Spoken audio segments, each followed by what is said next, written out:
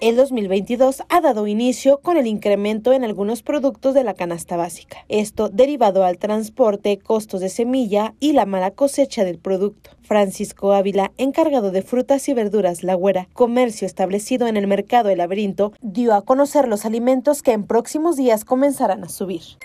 Lo que sí se asimilamos ahorita, que el precio del limón, el precio del aguacate, son productos que han estado subiendo e incrementando el precio.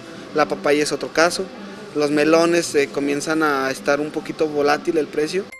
De igual forma, en el periodo del 2021 se registraron diversos incrementos dentro de la canasta básica, pues durante el mes de noviembre el kilo de chile serrano y chile jalapeño se llegó a vender en 60 pesos. Otro producto a la alza fue el jitomate, sin embargo, se estima que en próximos días haya una ligera reducción en los productos ya mencionados. Los diversos incrementos han ocasionado que durante las pasadas festividades navideñas y de fin de año las ventas no fueran tan buenas, pues la uva, un producto esencial para el último día del año, su precio promedio oscilaba en los 90 pesos, por lo que la mayoría de las personas no pudieron contemplarlas en sus compras.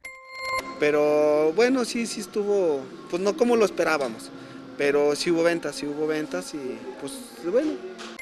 Por último, el comerciante Francisco Ávila hizo una invitación para que las personas sigan surtiendo sus despensas en los comercios locales, ya que por la pandemia muchos de los locatarios tuvieron que cerrar sus negocios y ante la lenta recuperación económica, la mayoría ha tenido que comenzar desde cero. Con imágenes de Jorge Alberto Muñoz informó para Mega Noticias, Cintia Rocha.